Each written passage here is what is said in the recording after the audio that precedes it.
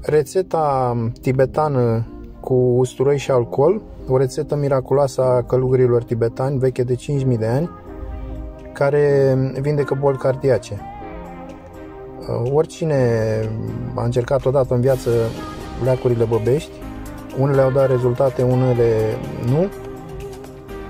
Se pare că această rețetă veche de 5000 de ani uh, pare să fie cu adevărat eficientă cura tibetană, cum se mai numește, ameliorează sau vindecă bolile cardiace, hipertensiunea arterială, sinuzita și unele afecțiuni pulmonare.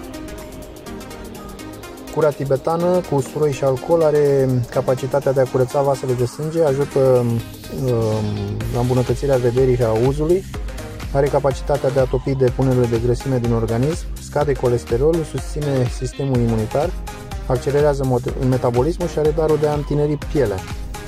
De fapt, uh, ce este acest leac tibetan? Este o tinctură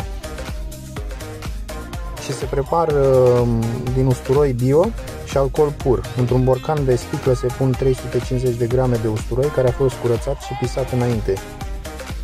Usturoiul trebuie să fie pisat uh, cu instrumente din uh, lemn.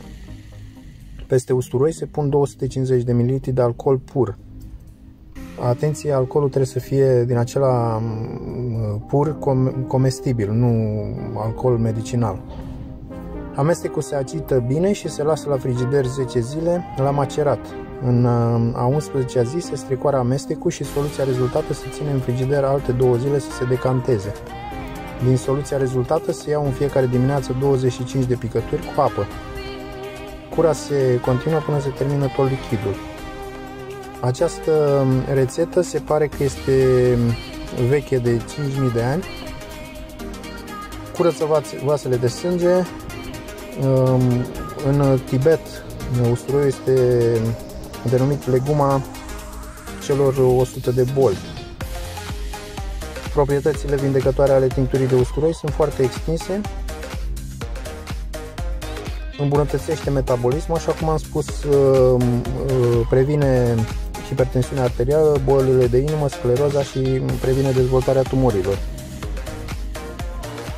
Acest medicament este mm, folosit și pentru curățarea generală și regenerarea organismului.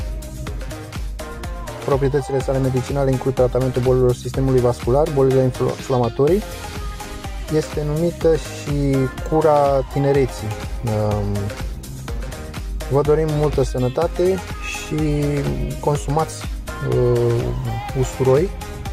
Atenție, dacă aveți contraindicații sau boli grave, trebuie să întrebați întotdeauna medicul înainte. Multă sănătate și toate cele bune!